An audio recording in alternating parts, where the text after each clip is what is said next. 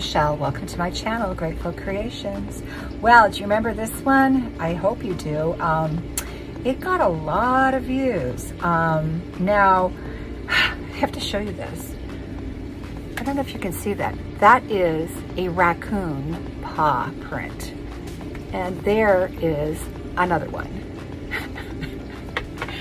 so um, that was from a little while back. I'm hoping that this raccoon thing is under control, but I doubt it. So in any case, uh, looks like there's a little boo-boo there. So what I'm gonna do, I have all the colors that I used in this. I mixed them up. There was only two colors. I think there was a yellow too, but I, you don't really see the yellow. And then I also have a light body white paint, like right here. This is a heavy body titanium white. Oh, jeez Louise, look what I just did. Are you kidding me? Have some paper towels ready. Um, okay, and then um, this is um, Liquitex Matte Medium, and I'm gonna use that with these straight paints. I don't have any pouring medium in there whatsoever. And we're gonna go and fix this, this baby up. So first of all, I am going to do, do, do, do, clean off the paw prints, hopefully. Yeah, it came right off. But I had to show you that. The struggle is real. Okay, so paw prints are gone, yay. And uh, we try to get this off, but it looks like it's paint. I don't know how that happened. You know, things happen sometimes. So I'm just taking some of this soft body paint and I'm putting it right where the boo-boos are. And then I'm gonna take some heavy body paint to make sure I've got good coverage.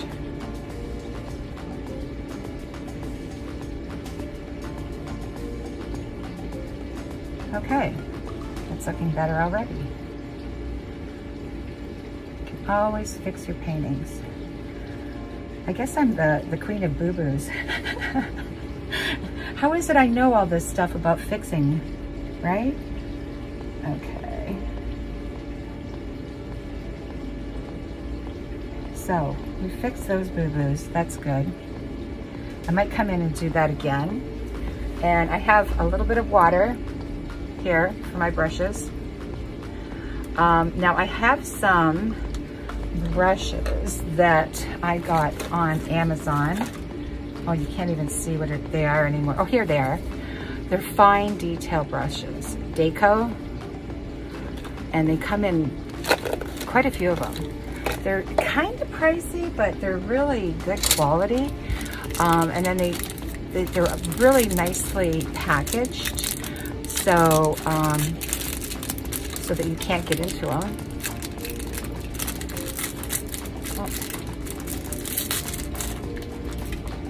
And they all have this little tip here. Now you're supposed to uh, run them underwater, let them dry, or yeah, all that good stuff.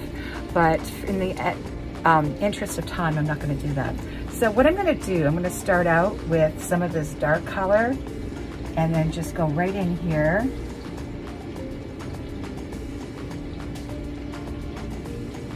And then I'm gonna mix it up with,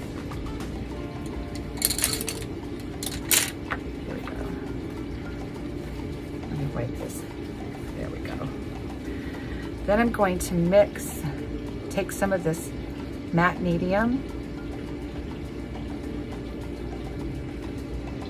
and then bring it out. Then I'm going to use my finger to blend.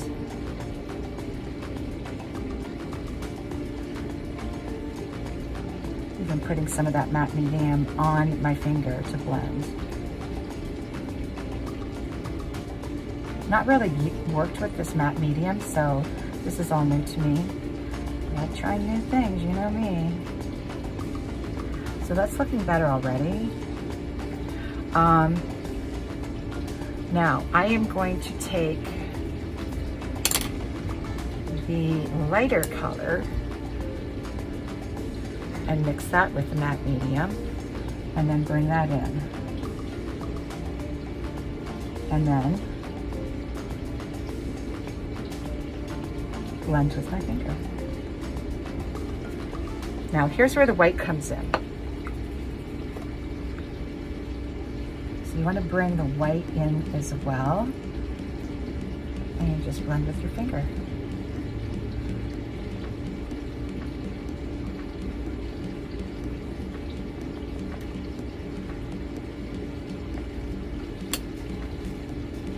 that water over here. You can the water too to blend that a little bit better.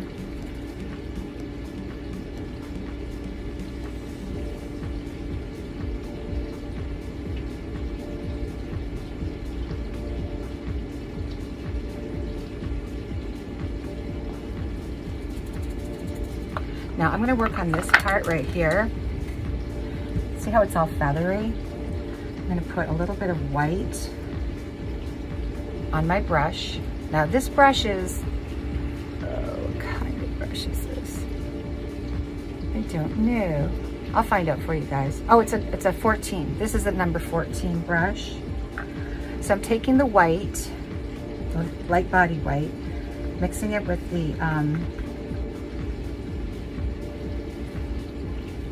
Liquitex matte, professional matte medium.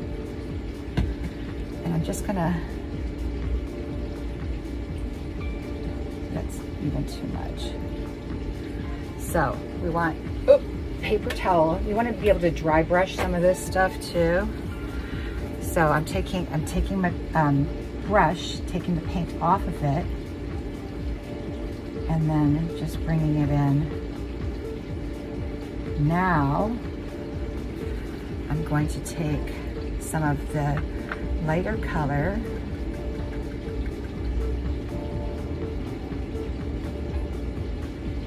Bring it in. Dry my brush off and blend.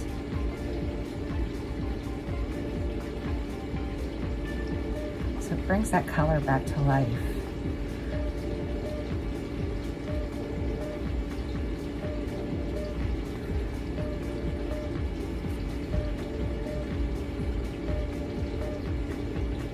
little bit of the matte medium on here to help with the blending.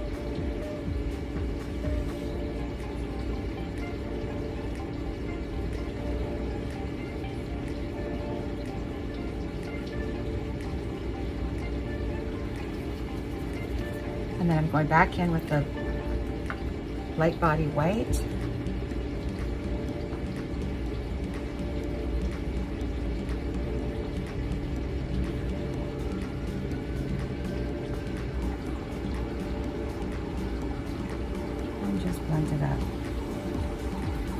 Now, you want to go back, you want to, to really get a good blend on it, you want to do strokes this way and then strokes this way. So you're using strokes both ways to get it really blended. Of course, you can always do circles like we do with our makeup to get that really good blend. Now I'm going to take, look how pretty that looks already the deeper blue with the matte medium and put it up here.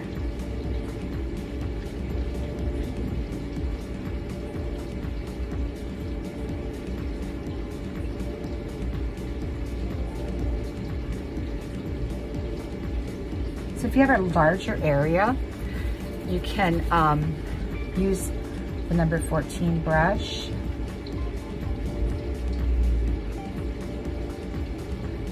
and just blend, blend, blend, blend.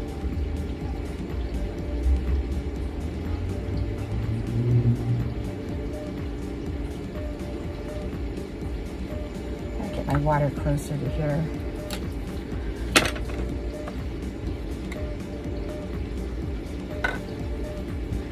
And just put a little bit of water on there. It extends the paint. Whoopsie.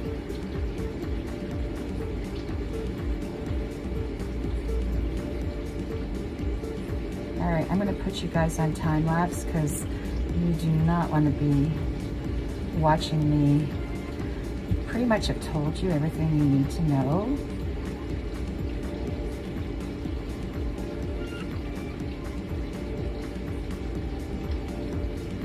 Oh, yeah, no, I haven't. So, the very fine brushes, where is it? Where's the one I just opened up? I think this is it. Is it? Yeah. So the very fine, fine brushes, uh, this one's better. You want to define your lines. If you want to define your lines you just come in and just lightly define them with the dark. And then this whole painting will come to life. See, sometimes when you have too much water or when you're having issues with your artist loft white and you have this kind of thing going on, um, you can always fix them, you know. So um, this painting is gonna look superb after it is finished. And um, it's really relaxing. You know, just make yourself comfortable. I got my chair here. I never use my chair. And um, you can actually add some definition where it doesn't have it, like right here.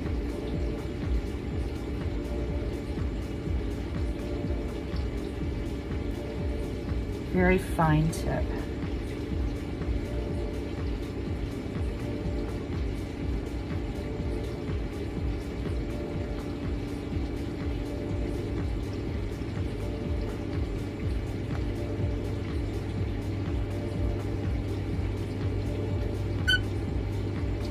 Could actually get some Payne's Gray out too to make it more defined. But uh, I'm getting, I'm really getting happy with this so far. I'm going to bring this out a little bit more. Take my brush and dry brush again.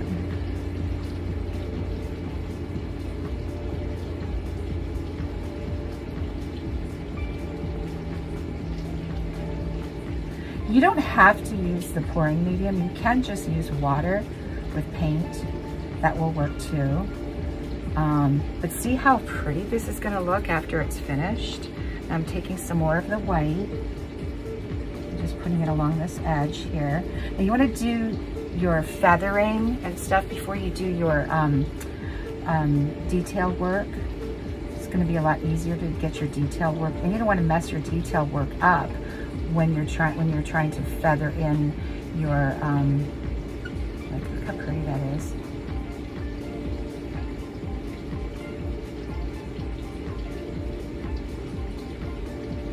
There we go. All right, that's looking good. All right, I'm gonna put you on time lapse.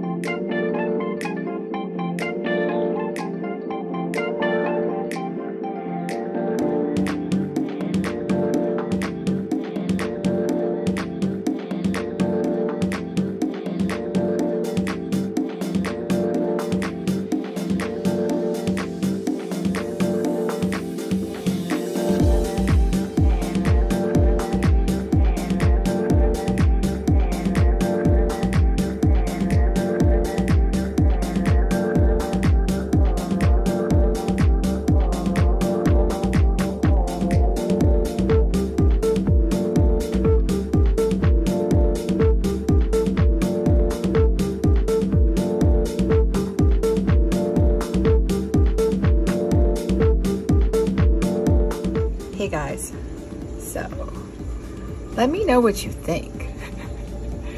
this is kind of my first attempt at something like this. And oops, sorry about the shadows. That's what happens when I have my lights on. I usually film with my lights off, but I kind of really like this. It was, it started to consume me. and it turned out different than the original. Like I feathered this part right here, which looks kind of cool. I'm really sorry about the shadows. And it looks like the white I put down, I'm gonna have to touch that up a bit, but uh, yeah. Brought some color into it. Anyhow, let me know what you think. It's better than the raccoon prints. Please be safe and create. Please like, share, and subscribe. And if you are interested in making any piece your own, please contact me at gcfluidart at gmail.com. Ciao for now.